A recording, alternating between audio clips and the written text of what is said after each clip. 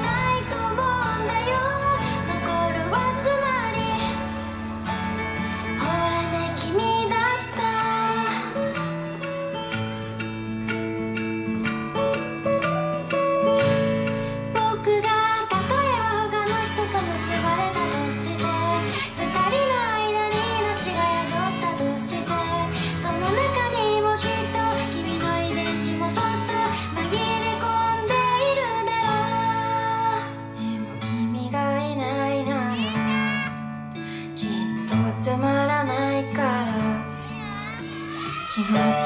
しだって